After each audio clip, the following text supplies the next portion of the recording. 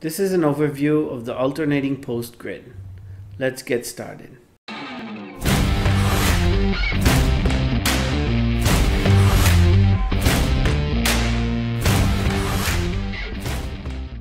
To get started, drag the alternating post grid into your Elementor column. Even without doing anything or touching the settings, you can see what an awesome layout we got over here.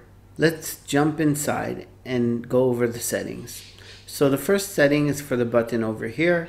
You can change the text to whatever you want. For example, instead of read more, I'm going to change it to learn more. Inside of Post Query, you can filter the posts in many different kinds of ways. You can decide to show different terms, which are post categories, for example. You can order these differently and you can decide how many tiles you want to show. Right now it's showing only 10. Let's jump into style and see how we can style this. The first setting is for color.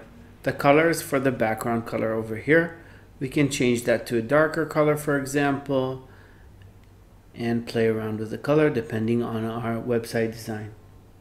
The next setting is for space under the items. If we want to space them out, we can use this setting over here. To space between the items, you can use the setting over here, space between items. This will just open up your grid and you can achieve a nice layout that way.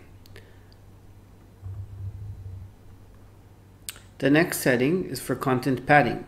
It's the padding around the content. Let's push this up to 70 pixels just so we can see how that looks. Awesome. The next setting is for the collapse point. This is for responsive mode to decide from which screen resolution you want the tiles to be one on top of the other instead of one next to the other. Right now it's going under tablet into responsive mode. I'll show that at the end. Item radius is to round your items. In item border, you can decide about different borders you might want to add to the item. Border width and border color, of course. Let's jump into title. And in the title, this is the post title. We can play around with the typography. For example, I'll just make that bigger and make the font weight bolder. So you can play around with the title, the date. You can see you can space things out and each setting has a color, typography field, and a spacing field. Same for text. So let's space out the text a little bit and we can make the text a bit darker if we want. Let's jump into button.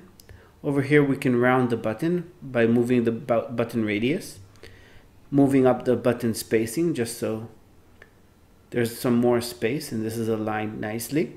And of course you can change all the different colors and you can decide if you want to add a border or not. In button style, we can also make our button full width if we want. So that was an overview of the alternating post grid by Unlimited Elements. Thank you for joining and I'll see you in the next video.